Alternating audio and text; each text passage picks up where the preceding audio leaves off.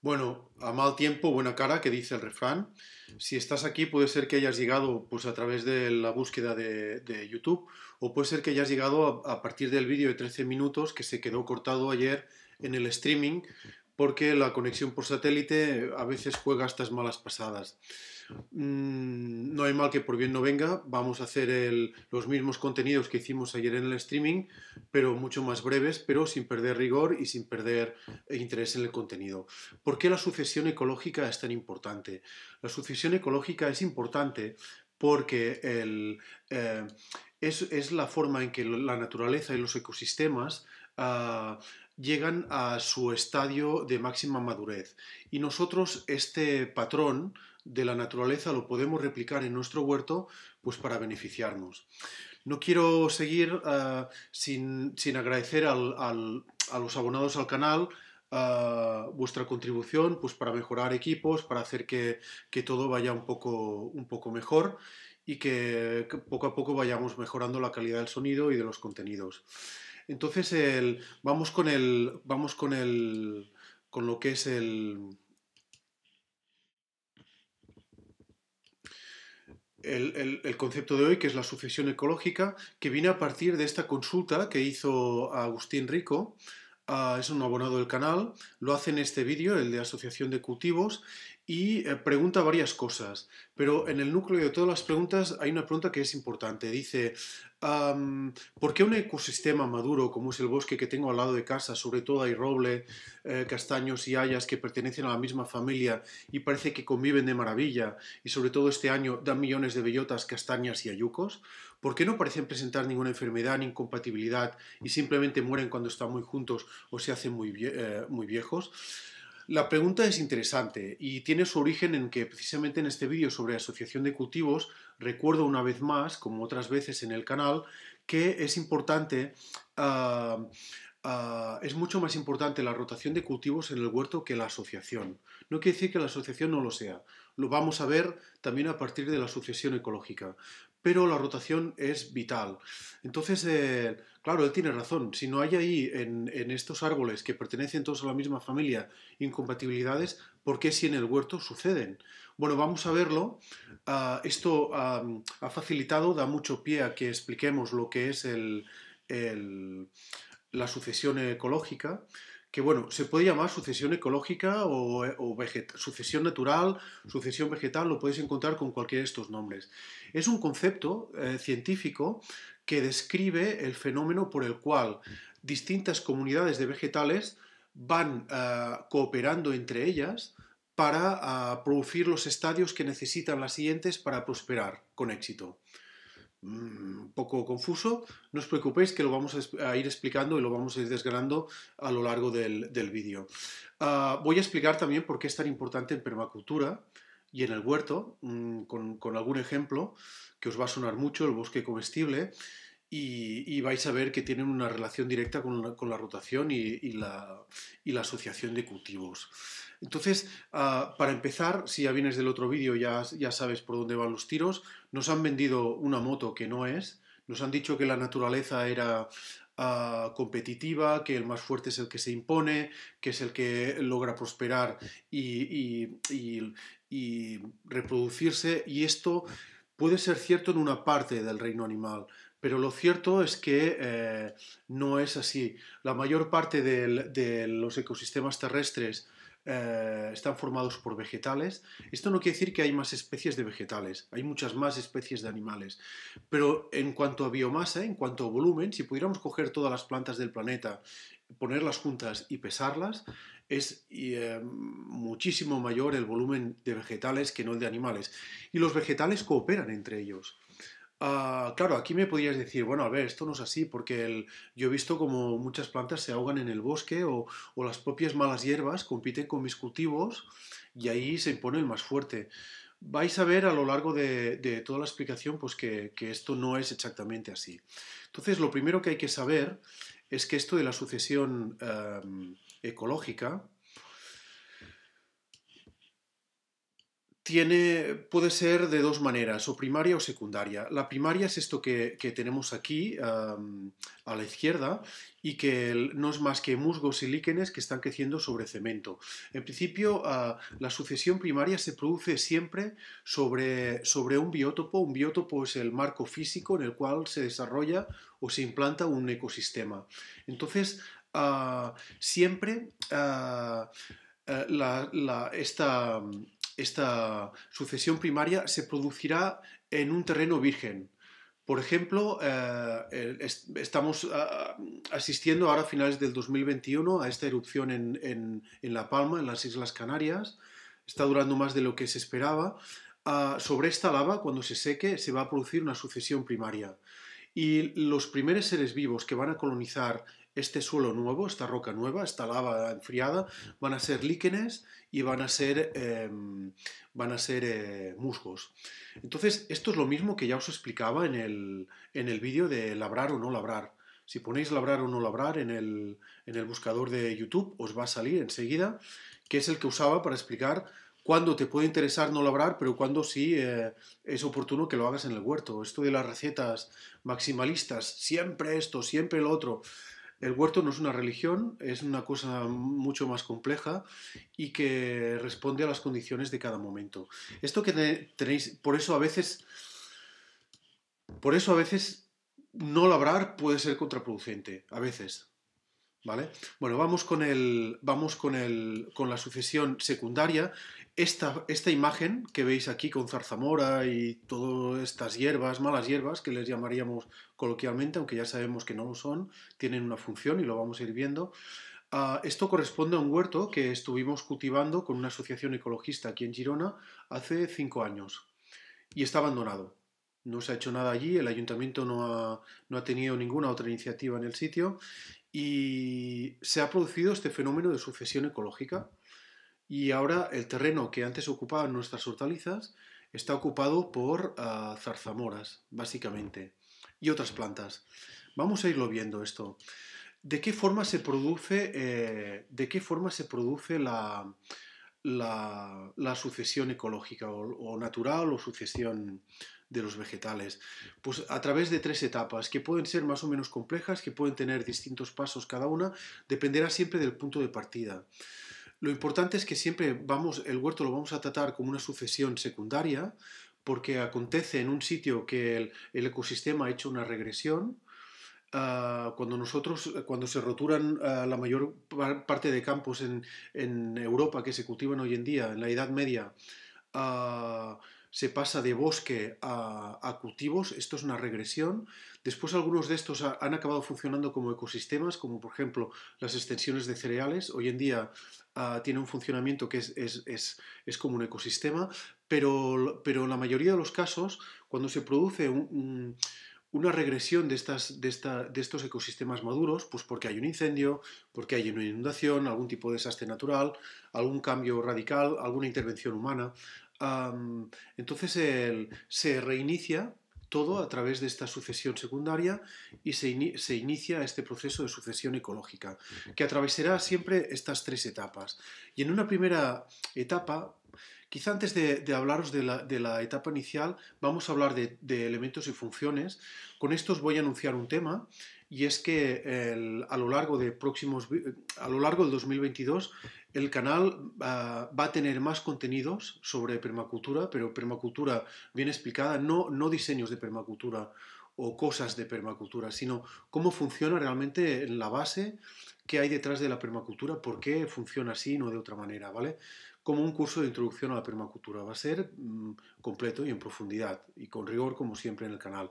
Entonces, uh, un próximo vídeo, en breve, va a ser sobre elementos y funciones para explicar cómo funciona un ecosistema, pero ya lo avanzo aquí ahora porque para el concepto de sucesión ecológica es necesario. Mm, cualquier sistema, cualquier ecosistema, y el huerto no se escapa de esta descripción que voy a dar ahora, está formado por elementos y funciones. ¿Qué elementos tenemos aquí en la imagen? Esto corresponde a un parking, esto era un campo de cultivo fértil, con una tierra muy buena, por cierto, que cerca de aquí pues, se convirtió en un aparcamiento. Una vez al mes aquí se hace una, feria de intercambio de productos de segunda mano. y venta y, si no funciona como aparcamiento. Entonces lo que hicieron para habilitarlo como parking fue compactar el suelo y añadir arenisca, una, capa de arenisca bastante grande. No grava, en este caso fue arenisca. Entonces, fijaros, eh, ¿qué tenemos aquí? ¿Qué elementos tenemos? Pues la propia arenisca, el, propio suelo que había antes, esto que está creciendo eh, de una forma rala, esto es grama, esto es gram, esto es cinodón dactilón, nombre científico. Ah, están apareciendo algunas plantas crasas, muy poco llantén, es muy testimonial. Aquí el llantén no tendría valor como, como bioindicador del suelo. Realmente es muy escaso, pero hay alguno. Y hay otro elemento también que son estas hojas que caen del arbolado público. Ah, son de arces en este caso y que, que han caído en el suelo. Y hay otros elementos que no vemos. Por ejemplo, los hongos que hay en el suelo que van a descomponer estas hojas. Todos estos elementos cumplen funciones. ¿Vale? La grama que está creciendo entre la arenisca está introduciendo materia orgánica en el suelo y está creando unas condiciones de humedad eh, y de materia orgánica en la superficie de este suelo que son distintas de cuando solo había arenisca. Los hongos están cumpliendo una, una función importante, que es que están transformando estas hojas secas en materia orgánica que será asimilable, lo están transformando en humus, será asimilable eh, por el suelo ah, y servirá para que se establezcan en ella microorganismos que dan fertilidad al suelo. Las hojas propiamente también son un elemento. Su función en este caso, ahora mismo, tal como está esto, es que están reteniendo humedad aquí, están haciendo la misma el acochado está copiado de esto, el acochado que hacemos en el huerto está copiado de esto. Em, y están aportando humedad en el suelo, están favoreciendo eh, la vida de microorganismos en esta zona que protegen, que dejan cubierta, con lo cual no es extraño que en esta zona haya más grama y la vegetación se vea más verde que en el centro del campo, donde no caen tantas hojas secas cada año, ¿vale? Entonces, esto sería ah, elementos y funciones. Ah, y en un ecosistema maduro, para, acabar de cerrar este tema, hay multitud de elementos que se proveen las funciones que necesitan para vivir entre ellos, de forma que no necesitan intervenciones externas más que la luz solar y el agua, ah, la lluvia, para prosperar y mantenerse en, en un funcionamiento óptimo. Y esto, esto estoy describiendo lo que sería un huerto ideal. Imaginaos que se pudiera hacer un huerto que nosotros pudiéramos elegir las especies que plantamos en él y que realmente lo hiciéramos también de manera que entre ellas se proveyeran los nutrientes que necesitan, el cobijo, la sombra, ah, sería, sería fabuloso. Por esto el tema de la sucesión ecológica es importante a la hora de gestionar un huerto ecológico y es primordial en permacultura. Vamos a seguir con, las diapositivas porque en estas etapas iniciales vamos a empezar desde muy abajo, vemos aquí a la izquierda otra vez los líquenes y el musgo, pueden aparecer en una sucesión secundaria y, y en este caso están creciendo sobre cemento, pero veréis después en una imagen, en un ecosistema maduro, cómo están transformando roca, roca madre. O sea que esto es una etapa inicial. Y lo que vemos al otro lado, pues es del mismo parking que veíamos al lado eh, hace un momento, y vemos aquí efectivamente que es que la grama está, eh, bueno, está haciendo lo que puede. Pero ahí está, ahí está cumpliendo su función. Está introduciendo materia orgánica en el suelo en forma de raíces, está movilizando eh, a través de las raíces también em, nutrientes que están abajo y los deja arriba en forma de biomasa, y está creando condiciones para que aparezca en esta misma etapa inicial un segundo paso que son las herbáceas. De entrada en este parking y en un suelo, en un terreno abandonado, no aparecen directamente las herbáceas. Primero aparecen estas gramíneas, eh, aparecen plantas crasas, a veces puede ser la verdolaga, pueden ser otras, que eh, crecen muy en superficie, cubriendo el suelo, y eh, que crean las condiciones para que aparezca esta segunda comunidad de vegetales.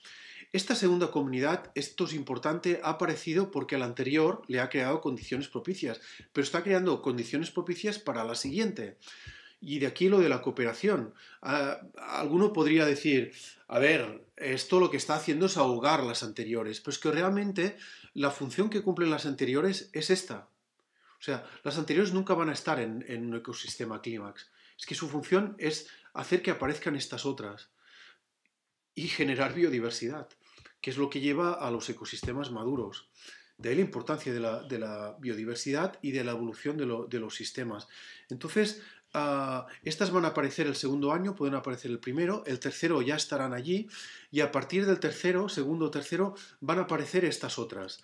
Son plantas. Siempre estamos hablando, ojo con esto, estoy hablando de los ecosistemas aquí en la zona mediterránea donde yo vivo en, la en el norte de la península ibérica, ¿vale? Esto en Europa generalmente es así en la mayoría de bosques, con, diferencias. Las especies pueden ser distintas según la altitud, según, según el clima, pero, pero básicamente esto es así. En climas subtropicales o tropicales, en selva, el funcionamiento puede ser muy distinto, pero la, sucesión ecológica también se produce. También la llevan a cabo comunidades vegetales y también cada, paso, cada, etapa de, comunidad vegetal, de individuos, eh, crea las condiciones para que aparezca el siguiente, el posterior. ¿De acuerdo? Y así se avanza hacia ecosistemas clímax. Entonces, en este caso van a aparecer después de las herbáceas estas otras Generalmente aquí son el hinojo y la zanahoria silvestre. Aquí la veis en esta imagen que está, está aquí la flor que ya está cerrada, ya está haciendo semilla esto. Y entonces fijaros que esto tiene este aspecto típico de campo abandonado, campo sucio, campo sucio para el que no tiene el ojo el ojo educado para ver lo que está sucediendo. Aquí estamos en una etapa inicial de la sucesión ecológica que va a llevar a, otra, a otro paso, a otro siguiente paso, a otra comunidad vegetal, que antes de explicaros necesita que también aclare otro concepto, que es el de plantas pioneras. Las plantas pioneras en permacultura son importantísimas. Algunas hortalizas que cultivamos en el huerto funcionan como plantas pioneras y, están en la, en la, milpa, están en la pregunta que formulaba Agustín, que vamos a volver con ella más adelante. Y las plantas pioneras se caracterizan uh, porque em, la grama, por ejemplo, lo es, porque crecen en condiciones mm, más o menos adversas y tienen capacidad para competir con otras y cambiar muy rápidamente las condiciones del suelo para favorecer el próximo paso. O sea, en realidad para cooperar con la siguiente comunidad vegetal. Pero no es gratuito que os haya puesto esta foto en la cual hay dos tipos de plantas pioneras que tenemos en esta zona. La que vemos abajo es la zarzamora, o mora, o zarza, rubus o rubeus, no me acuerdo, fructicosa, y la que vemos arriba es la caña, la caña común que utilizamos para encañar tomates, para las alubias, arundo donax en latín, ¿vale? Una es propia de los ecosistemas mediterráneos y la otra no lo es, pero se ha naturalizado en ellos. ¿Por qué explico esto aquí en este punto? Porque es importante tener en cuenta que las plantas pioneras actúan como invasoras fuera de sus hábitats originales. Y aquí es lo que nos pasa con la caña. El hecho de que la caña aparezca en los cursos de agua no favorece la aparición del bosque de ribera. Más bien al contrario, más bien lo inhibe. Es lo mismo que pasa con la falsa acacia que veíamos hace poco en el canal como, planta bioindicadora. Ah, es otra planta pionera y que tiene una estrategia a la hora de, implantarse eh, en cuanto a rapidez, en cuanto a aprovechamiento de recursos, en cuanto a, aprovechar eh, situaciones adversas, que hace que se implante muy rápido y que, se convierta en un problema fuera de sus hábitats originales. Entonces lo que tenemos en esta imagen es exactamente esto. ¿eh?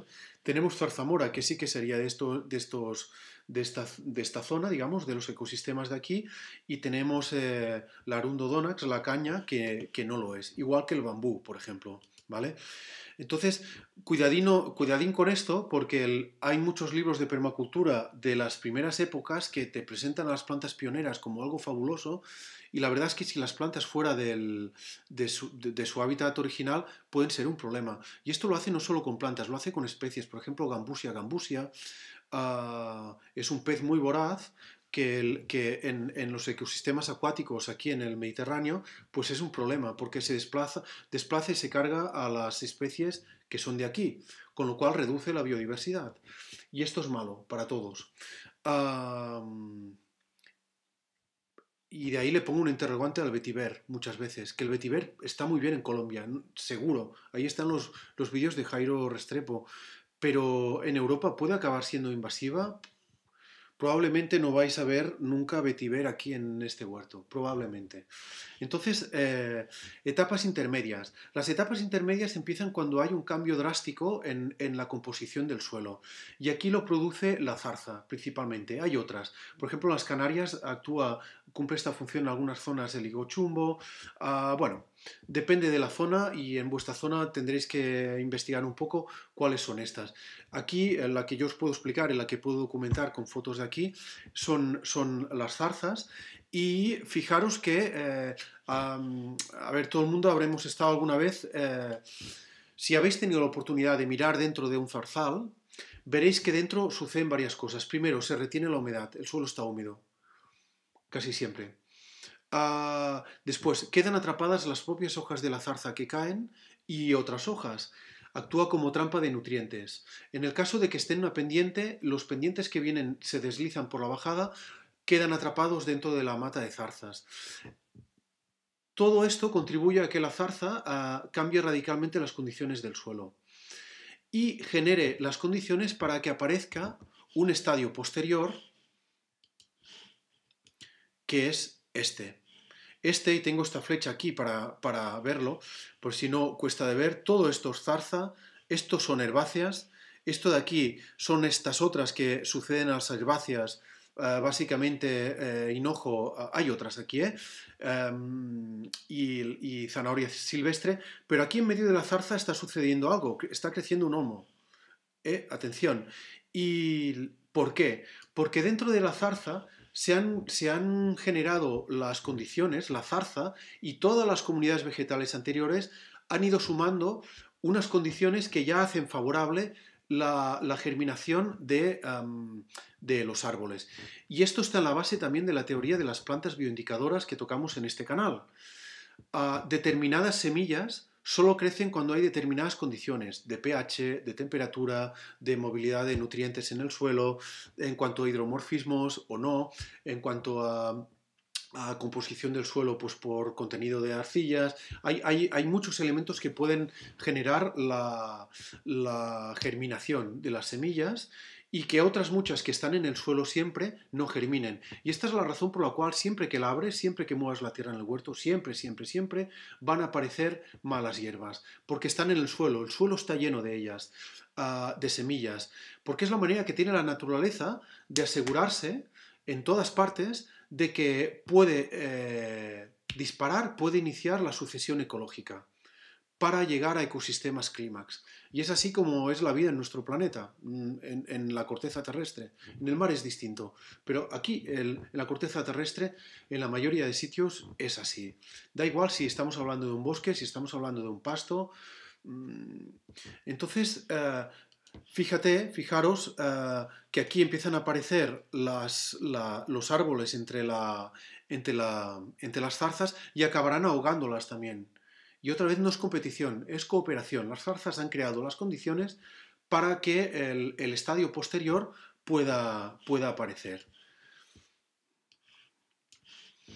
En la etapa intermedia nos vamos a encontrar ah, el concepto de comunidades vegetales muy desarrollado. Ah, aquí las comunidades vegetales ya son, ah, ya son más complejas, ¿vale? Y funciona en distintos estratos. Y después veréis cuando hable de permacultura por qué es importante esto. Y estos estratos serán el arbóreo, serán los matorrales, serán las herbáceas, serán hongos y setas, serán las plantas que crecen reptando, en este caso en, esta comunidad vegetal, están todas documentadas, ¿eh? están todas documentadísimas, ah, al menos en lo que concierne a Europa. Mm, y, reciben nombres las, distintas comunidades vegetales a, partir de algunas de las especies representativas que las componen en latín. Por ejemplo, la, que, la, de aquí, esta es Quercus, no sé si es algo más, pero es Quercus eh, viburnum. Viburnum porque es uno de los matorrales más abundantes en este tipo de bosque. Entonces, eh, funcionan de forma sinérgica todas estas comunidades, todos estos vegetales de la comunidad como elementos que se proveen las funciones entre ellos que necesitan. ¿De acuerdo? Ah, y con esto ya nos vamos a, lo que son la etapa final. ¿Y qué sucede al principio de esta etapa final? Pues que el bosque está sucio en esta zona, en este tipo de ecosistema. El bosque está sucio y puede llegar a ser impenetrable, como en esta imagen, que veis que en primera, en primera, aquí tenemos, eh, aquí tenemos zarza, ¿vale? En primera línea, y en cambio aquí atrás sí que hay viburnum, hay otras cosas que están, eh, están creciendo por encima de la zarza y la ahogan. Y por encima de esto van a crecer las encinas y los robles que es la especie, son las especies clímax, algunas de las especies clímax, eh, clímax en, este ecosistema, al menos las arbóreas, ¿vale? Eh, aquí a la izquierda vemos el, mismo bosque, también, bueno, difícil, difícil, en este se puede llegar a entrar, pero ya veis que está, aquí lo llamamos bosque sucio. En Cataluña eh, se hablaba hace unos años, ahora no sé si el porcentaje es el mismo, diría que no ha cambiado mucho, de que un 70% de la superficie forestal es sucia.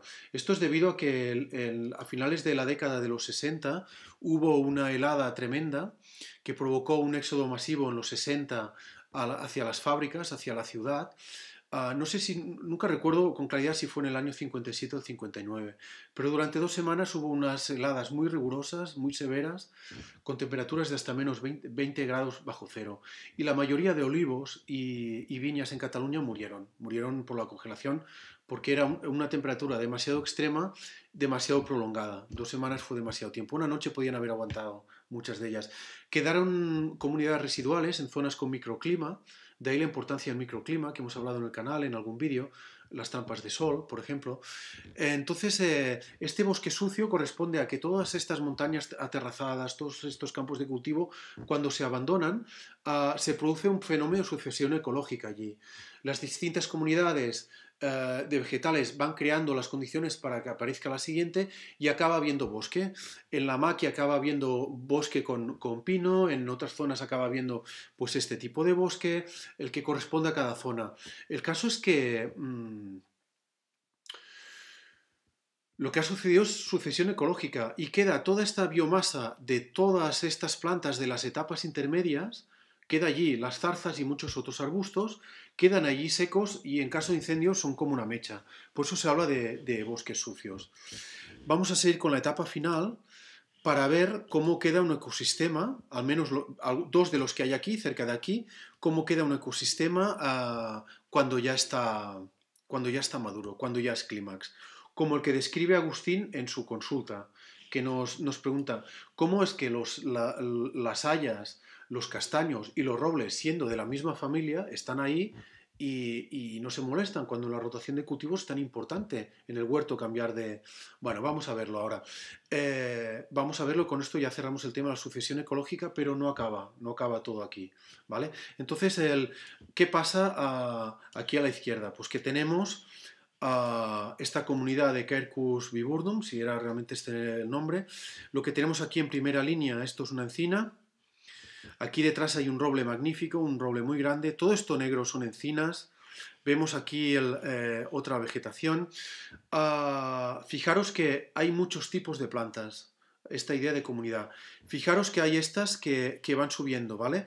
está la hiedra en este caso, pero hay otras dos. Una es la zarzaparrilla, la otra es la, la, la el lúpulo, también, lúpulo, el que se pone en la cerveza, sí, el que se pone en la cerveza. Y ah, ah, tenemos aquí esta otra comunidad, que esto corresponde a un hayedo, que eh, vemos que aquí hay menos biodiversidad, pero no por esto no es un ecosistema maduro, ¿vale? Y fijaros que no solo están las hayas, sino que hay algún arbusto, hay, herbáceas también, pero en un sustrato más bajo, y este ecosistema funciona distinto. Los elementos que hay se proveen las funciones entre ellos de, otro modo, que no es el, que no es el mismo ah, que, en, el otro bosque, pero también es un ecosistema maduro y también funciona. Y con esto eh, respondemos el por qué, y a estas especies las vamos a llamar especies clímax, ¿vale? No solo son los árboles, ¿eh? también son determinados arbustos, determinados indicadores de que la, de que la, comunidad está, está bien. Entonces, vamos a cerrar con esta imagen, esta parte del vídeo, volveremos a la consulta y entramos con lo que es la permacultura y cómo todo esto se traduce en el huerto. Y esta imagen es que tiene un gran valor. Tiene un gran valor y lo vais a saber leer cuando os haya explicado qué pasa aquí. Lo primero que vemos es que a la izquierda aquí tenemos encinas, ¿vale? Y aquí tenemos hayas. Ey, ¿qué está pasando aquí? Y esto es una haya muerta, justo en el límite. No hay encinas en este lado y no hay hayas aquí. La única que se atrevió a saltar es esta y ha muerto. Esto está en la cresta ah, de una montaña cerca de aquí. Y recordar el vídeo sobre las trampas de sol en el huerto, ah, esta zona donde están las encinas es la zona que tiene insolación en invierno, cuando el sol viene bajo, pero esta zona de la montaña, esta ladera, no tiene insolación en invierno. De modo que aquí, aunque la latitud no es la adecuada para las hayas, se han creado las condiciones para que eh, las hayas crezcan y se conviertan en eh, la especie clímax. Y esto es importante entenderlo, que según las condiciones previas de partida, vamos a tener unas especies clímax o un tipo de comunidad o un tipo de ecosistema maduro u otro. Si yo cojo eh, en un clima subtropical y me llevo toda la comunidad vegetal que crece en mi zona, allí no va a funcionar, porque en este ecosistema hay elementos que no se ven y que no se van a dar en el clima subtropical, que son la temperatura, la altitud, ah, la humedad, las precipitaciones anuales y cómo se distribuyen a lo largo del, año, las horas de insolación en invierno. Entonces, eh, bueno, ya veis, ya veis que todo esto que tiene un reflejo, todo esto tiene un reflejo en el huerto. Eh, ¿Cuántas veces hemos hablado ya en el canal de la importancia de la insolación en el huerto, por ejemplo en invierno, ¿no? o el tema de las zonas afectadas por heladas pues ya veis que la sucesión ecológica viene, al dedo y por esto en permacultura ah, tiene, tanta importancia. Aquí hay más cosas que quiero comentar en esta imagen, por eso muy buenas. Musgo, musgo sobre la piedra. Es decir, en la cresta de, esta montaña, entre estas dos montañas, mm, la roca madre ha quedado a la vista. Y aquí se está produciendo el fenómeno también de sucesión primaria aunque es dentro de un ecosistema estable, pero aquí hay bastante, bastante, bastantes condiciones, bastantes elementos que, permiten que aparezca este otro elemento que es el musgo. A este lado, en cambio, no hay musgo. Ah, probablemente aquí también está la roca madre, había aflorado, pero las hojas de las hayas que van cayendo cada año la han cubierto mm, con más eficacia que las de las encinas, eh, que, las de las encinas en el otro lado, y aquí pues aparecen eh, herbáceas que son similares a las del ecosistema estable que veíamos aquí, pertenecen a la misma comunidad vegetal, y con esto ah, yo creo que lo que es la sucesión ecológica ha quedado explicada. Vamos a volver con, el, con la consulta de, con la consulta de, Agustín. Varias cosas aquí, vamos ahora a ir desde el principio, porque él dice, y eh, con esto vamos a entrar con las asociaciones, que tiene que ver todo esto con las asociaciones de cultivos en el huerto, con la rotación en el huerto y con la milpa. Dice, gracias Albert, si dices que, casi no hay ningún, que, que no hay casi ningún estudio serio sobre las asociaciones, ojo aquí, quiero hacer una, quiero hacer una apreciación. Yo en el vídeo, no sé si se entendía bien, lo que buscaba era un estudio que explicara la incompatibilidad que dice que existe Mariano Bueno entre habas y coles, específicamente esto. Y no encuentro estudios al respecto de esto, específicamente de esta asociación. Que en el canal lo que vamos a ir haciendo ahora ah, progresivamente a lo largo de los próximos años, esto va a llevar años, va a ser sacar vídeos explicando las asociaciones de las hortalizas y el por qué, por qué cada una funciona como funciona. Y entonces vamos a ver esto que, que comenta Agustín, que dice, ah, ¿en qué se basan la multitud de listas que pululan por Internet y por todos los libros de agricultura ecológica publicados? ¿Se copian unos a otros? Sí. ¿Se basan en conocimiento empírico desarrollado por cada autor? Mm, pocas veces. ¿Por qué en un ecosistema maduro como es el bosque, esto ya lo hemos explicado, lo del roble, castaños y hayas? Ya entendemos ahora cómo funciona un ecosistema maduro. Entonces, eh, ¿qué pasa con las asociaciones? ¿Que se copian entre ellas, entre ellos los autores? Sí, muchas veces sí. Por eso yo voy a intentar sacar este material, lo voy a intentar sacar, bueno, pues... Ah, buscando estudios que, realmente, eh, porque algunos tienen que haber. Pero sí es cierto que la mayoría de autores se copian entre ellos. Hay asociaciones que se sabe de toda la vida, ah, de generaciones, de siglos, que no funcionan bien juntas. Liliáceas y ajos, cebollas, puerros con, leguminosas se perjudican mutuamente. Y esto sale de la observación y esto es atávico. Entonces hay otras pues, que, que vienen de la experimentación o que vienen de la observación a partir de la agricultura ecológica. Por ejemplo, plantar los apios o las cebollas con los tomates eh, hace que la mosca, la mosca blanca que ataca la cebolla o al tomate pues desaparezcan. Entonces, esto ya nace de la observación. Pero sí, la mayoría de autores se copian entre ellos. A ver, si en YouTube se copian el vídeo de usar la leche como fungicida y el bicarbonato y no sé cuántos más, ¿cómo no se van a copiar las, las asociaciones de cultivos. Y yo hacía lo mismo, yo mm, utilizaba la fuente de Mariano Bueno ah, dándola por fiable y bueno, pues resulta que, no lo era tanto. Por eso voy a hacer también para los cursos que doy, ah, pues esta labor de investigación de ir buscando datos que, corroboren o que mm, secunden uh, qué asociaciones son buenas o, o no. ¿vale? Entonces, el, más preguntas que tienes Ah, es que es súper interesante esta intervención. Me encanta este canal porque hay una comunidad, una comunidad, eh, estamos ya em, atravesando la etapa intermedia de sucesión ecológica en esta comunidad, en este canal. Ah, espero que no te agobien tantas preguntas, no, de ningún modo. Me hace muy feliz ayudar y ver que esto es útil. Esto en principio tenía que ser para los cursos que, que imparto normalmente, pero mm, yo ya tengo los cursos que necesitaba para ya tengo los vídeos que necesitaba, pero bueno, como que os es útil y a mí me hace feliz, pues y de momento no, no me está arruinando esto, si tuviera que ponerle mucho dinero, lo dejaba. Pero, y tengo vuestra ayuda, mm, en este caso los abonados, son 20 euros al mes ahora, entre todos, está bien. Bueno, voy, voy haciendo un cajón y voy una hucha y, lo próximo que caerá seguramente será una, una conexión 4G y nos quitaremos el, para poder hacer los streamings eh, con pies y cabeza. Bueno, el caso es que preguntas.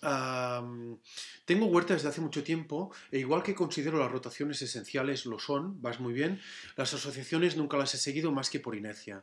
Nunca he observado ningún cambio por asociar unas plantas con otras. A ver, asociaciones beneficiosas, por ejemplo, la que decía de la cebolla con el tomate. Si tú no tienes mosca blanca, tú no vas a notar si esta, si esta asociación es beneficiosa o no. Por lo tanto, no vas a notar diferencia.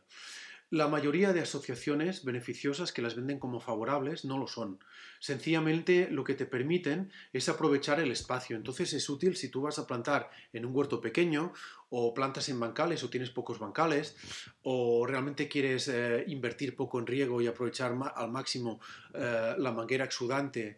Ah, no reguéis con gota a gota, utilizad manguera exudante. ¿Por qué? Lo explico. Si clicas aquí abajo en unirte al canal, ahí lo explico. Entonces, el, eh, estas asociaciones favorables realmente no son. Lo que pasa es que te permiten aprovechar mejor el espacio. Y cuando tienes poco espacio, pues son interesantes. Las que sí tienes que evitar son las perjudiciales. Por eso es el vídeo que hice al principio y no quería tocar este tema hasta mucho más adelante, pero bueno, la cosa se ha desencadenado. Y aquí hablas de algo interesante, muy interesante. dices, también he puesto la famosa milpa y las judías troncharon al maíz con su peso y las calabazas también se quisieron subir al maíz y formaron un guirigay en el bancal que he decidido no volver a ponerlo nunca más. Bueno, voy a hacer una confesión en el canal. Yo este año sabéis que me había lesionado, primero me lesioné este pulgar, después fue este, y eh, hice milpa con la intención de que pasara esto. Hice algunas fotos, pero no hice el vídeo porque llegó un momento en que lo que tenía que hacer era preocuparme de la rehabilitación, recuperar bien las manos, porque si no, ni vídeos ni huerto. Y entonces, eh, ¿qué ha pasado? Pues ha pasado que la calabaza funciona como una planta pionera. Y como que funciona como una planta pionera, cambia muy rápido las condiciones del suelo, como cubriéndolo, colonizándolo. Entonces, eh, eh, plantar calabaza en bancales no es una buena idea y es el vídeo que quería hacer para introducir un concepto de permacultura que es el concepto de zona 1, zona 2 y zona 3, que determinados cultivos te van a ir bien en un huerto intensivo que, vas a tener cerca de casa, que para entendernos rápido, porque no, lo voy a explicar ahora en este vídeo, es el de las cosas para hacer mm, em, ensaladas pero que hay, hay otros cultivos que te interesa tenerlos más lejos, no, tiene sentido, no, no sacas ningún beneficio tenerlos cerca. Y hay algunos que actúan como plantas eh, pioneras y tienes que tenerlo muy presente para ponerlos en el sitio adecuado. Y uno de estos es la calabaza. La calabaza se come todo el espacio. En mi caso, hubiera salido un buen vídeo, pero va a salir porque vamos a repetir el experimento, se había subido a la encina. Y esta encina tiene cuatro metros bien buenos. tremendo. O sea, tremendo, tremendo. Han llegado, llegó la primera helada, fue bastante dura y, ya las calabazas que estaban aquí arriba ya no, ya no han prosperado. Pero con esto, ¿qué quiero decir al respecto de la milpa? Que lo que te ha pasado es normal, que quizá la asociación de poner la judía con el maíz mm, sin, sin, la calabaza puede ser interesante y que en todo caso esto está bien para una zona 2 o una zona 3, para un huerto apartado, para una zona marginal que esto ya lo explicaré en otro vídeo. Pero bueno, que esto que te ha pasado, que José María en Cabo, que también sabe un montón de huerto, que también eh, está en, la comunidad del canal a través de los, de los comentarios, que también te dijo, a mí también me ha pasado, bueno, pues que sepáis que esto pasa, la famosa milpa. Yo sospecho que además es que aquí utilizamos la, la alubia perona, y que esta es que crece mucho. Yo sospecho que los frijoles que utilizan en, en, en Centroamérica para hacer la milpa Ah, son distintos, no crecen tan arriba o que utilizan variedades de maíz que crecen más. Bueno, en cualquier caso, ya explicaré en otro vídeo sobre la milpa, estos problemas que te puedes encontrar, un poco para dar el contraste y la información que, yo he hecho en falta en, los vídeos que he visto en YouTube al respecto. Y, y allí también explicaré por qué el maíz no te ha salido con todos los granos, que esto también te habrá pasado. No lo pones en la pregunta, pero también te ha pasado. Lo sabemos porque hemos pasado por ahí. Entonces, bueno, con esto eh, espero ya haberte respondido. Vamos con lo que es la permacultura, ¿vale? Ah, ¿Qué tiene que ver esto de la asociación ecológica con la permacultura? Pues mira, los principios que, de diseño que se utilizaban en permacultura hasta, hasta principios de este siglo, ah, uno de ellos era acelerar la sucesión natural. Y la idea es que si esta idea de sucesión ecológica tú lo puedes poner en un diseño de permacultura, contribuyes a crear condiciones que lo hagan más resiliente, a que los elementos que lo forman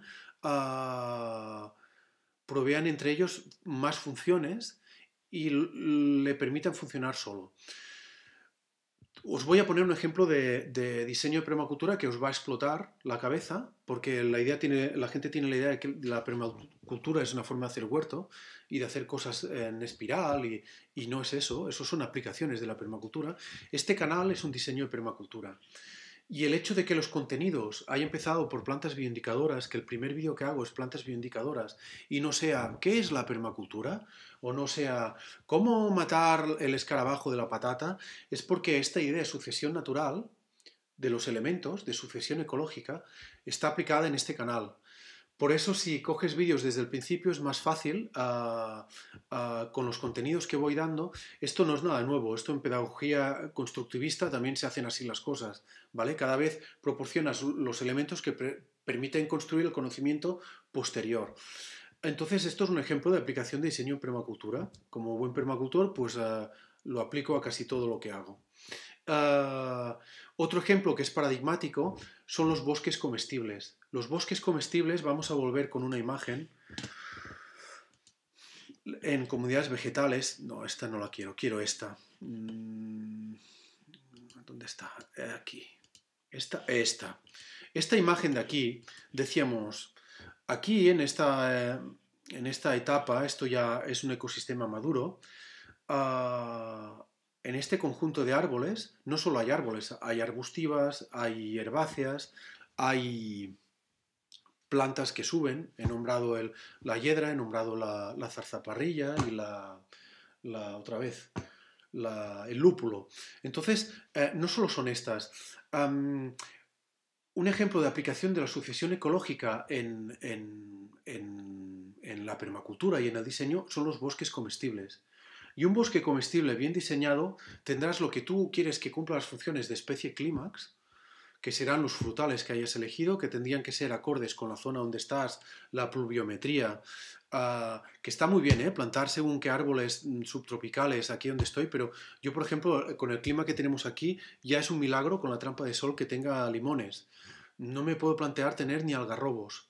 crecen a partir de la latitud de Barcelona para abajo pero aquí ya al norte de la península y en el Prepirineo, eh, algarrobos, nanay de la China. Entonces, Em, esta idea de elementos que os decía antes, que no solo los elementos son, son los seres vivos, también es la temperatura, las precipitaciones a lo largo del año. Entonces un forest garden es esto. Y un forest garden, un, bosque comestible bien diseñado, tendrás estos árboles haciendo de, de, especie clímax, pero tendrás arbustivas que pueden ser uh, bayas de distintos tipos o aromáticas. Ah, tendrás eh, herbáceas, tendrás toda una, tendrás setas, setas, ¿por qué no?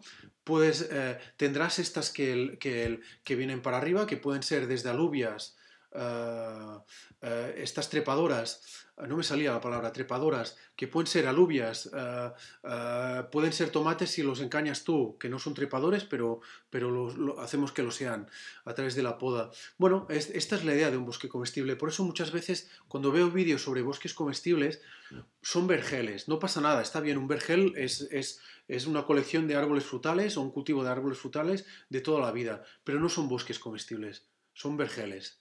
Un bosque comestible, en un bosque comestible tú aplicas esta teoría de la sucesión ecológica y la aplicas desde el principio. Para implantar los árboles definitivos vas a utilizar plantas pioneras en unos estadios previos, porque esto hará que cuando pongas los, los árboles requieran menos riego, eh, habrás cambiado las condiciones del suelo, no será necesario acolchar todo un bosque comestible porque las pioneras que han venido antes ya habrán creado las condiciones de suelo con suficiente materia orgánica como para que aquello funcione como un acolchado. Entonces, bueno, esta es la idea en cuanto a, permacultura. Con esto espero que haya quedado explicado eh, la sucesión ecológica, que se haya entendido bien, creo que sí por qué en permacultura es tan importante, por qué en el huerto nos interesa, por qué en el huerto la rotación de cultivos es tan importante lo de las familias, por qué no podemos llegar a hacer eh, cultivos eh, en el huerto que funcionen como un ecosistema clímax. Bueno, hay varias razones, pero lo principal es que les pedimos una producción rápida en poco tiempo y le pedimos al mismo suelo producción tras producción. Y esta producción intensiva... Eh, gasta de forma intensiva la materia orgánica en el suelo y gasta de forma intensiva a los nutrientes que hay en el suelo que, se pueden reponer de forma natural. Por eso es tan importante que aportemos compost y por eso la rotación es crucial. Es crucial porque la rotación de, de cultivos en el huerto no deja de ser una forma de hacer sucesión ecológica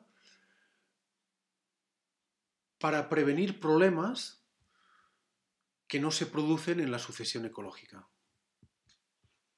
explicado llano, llanamente, ¿vale?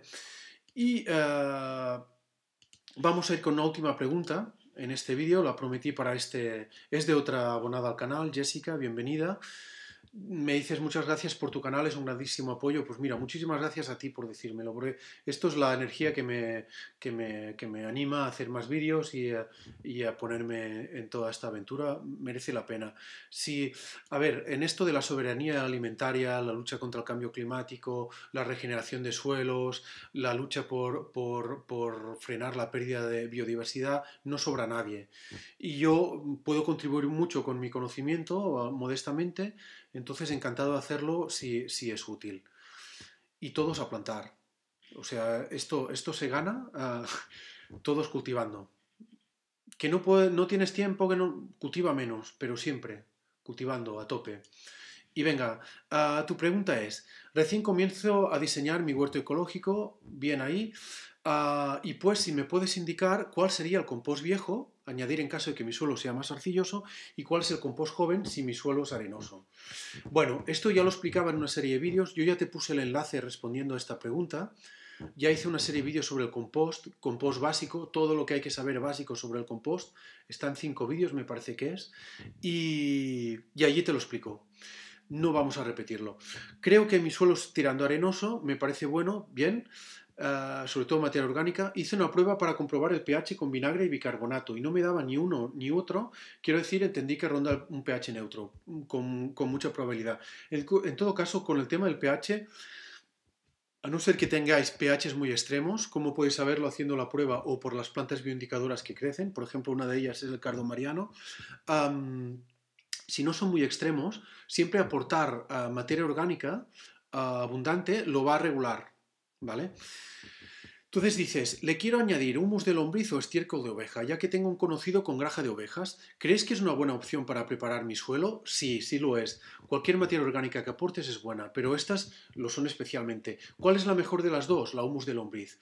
¿Cuál usaría yo? El estiércol de oveja. Al ver, ¿por qué vas a usar el estiércol de oveja si el humus de lombriz es mejor? Porque el estiércol de oveja lo tienes gratis, lo tiene un amigo tuyo, es un residuo que él tiene, esto es permacultura, y su residuo lo conviertes en un, en un recurso en tu, sistema, en tu huerto, otra vez vemos un elemento que es el, el, el, estiércol de oveja que cumple una función que es fertilizar el suelo, aportar nutrientes y aportar microorganismos y materia orgánica. Entonces, eh, eh, utiliza el estiércol de oveja. Si tienes acceso a humus de lombriz gratis, úsalo, úsalo. Pero el humus de lombriz hay que comprarlo. Y en principio en permacultura esto que voy a decir se coge con pinzas, pero en principio en permacultura vamos a evitar siempre introducir cosas de fuera al sistema. Y aplicando esta idea de sucesión ecológica, vamos a intentar que en el propio sistema produzcamos lo que necesitamos. Un ejemplo muy claro es el abono verde en, la agricultura ecológica, lo abono verde, eh, lo que estamos haciendo es, producir biomasa para compostar, para introducir carbono o nitrógeno en el suelo a través de recursos biológicos, las plantas, no tenemos que hacerlo nosotros. O sea que, bueno, ya hemos visto unas pinceladas de cómo funciona la, la, la permacultura. Y Gracias por estar ahí, gracias por vuestra paciencia con los streaming. Hay alguno que no ha salido bien, pero seguís estando allí apoyando el canal. Os estoy muy agradecido. Os dejo aquí un vídeo que puede ser de vuestro interés y nos vemos en el próximo vídeo. Hasta la próxima.